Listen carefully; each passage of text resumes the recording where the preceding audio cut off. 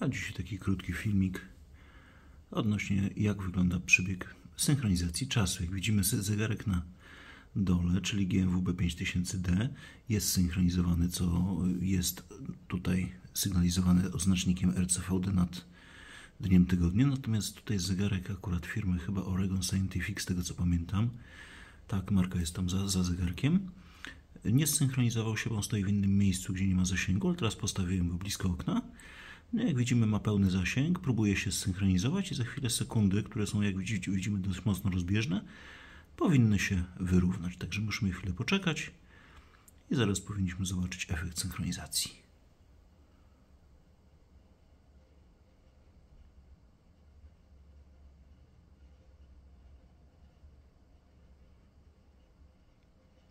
Sama synchronizacja generalnie, jeżeli wszystko jest ok, jeżeli jest silny sygnał bez zakłóceń, e, zajmuje około 2-3 minut, czasem 4. Natomiast w przypadku, gdy sygnał jest niestabilny, potrafi on zająć nawet do chyba około 14 minut, potem zegarek przerywa. No oczywiście to, e, on może przerwać wcześniej, jeżeli sygnał w ogóle nie, nie wyłapuje. Natomiast często jest tak, że na przykład, cały jakby, o, o teraz widzimy o, złapał, zobaczcie, złapał tylko na dwóch falkach i w tym momencie, zobacz, jak widzimy, dokładnie sekundniki w tym momencie chodzą identycznie.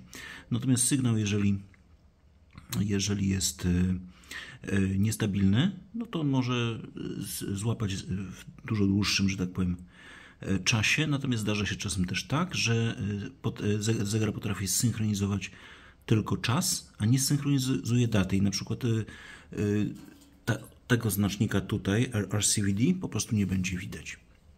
Także tak to wygląda.